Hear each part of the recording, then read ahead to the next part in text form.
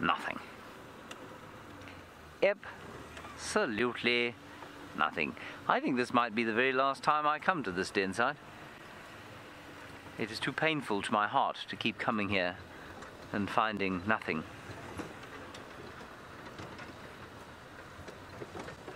No.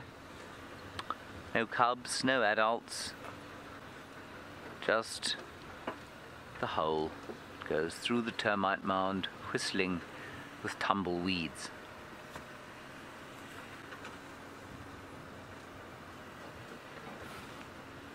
We'll stop here and just look.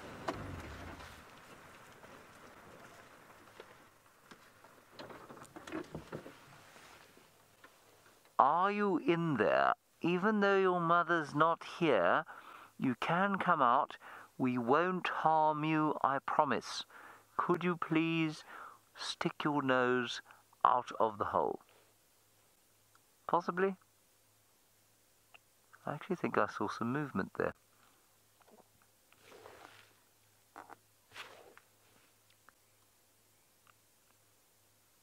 I'll just do a little whistle.